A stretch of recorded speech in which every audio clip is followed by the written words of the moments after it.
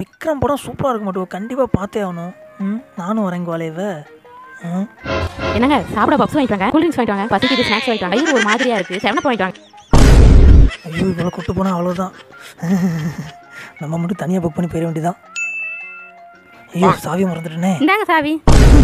Corner ஷீட்டாக book பண்ணியிருப்பீங்க போல எனக்கு மெசேஜ் வந்துருச்சு. வாங்க போகலாம் முதல்ல ஓடிபி மாற்றணும் நீ உட்டார் விடாதே.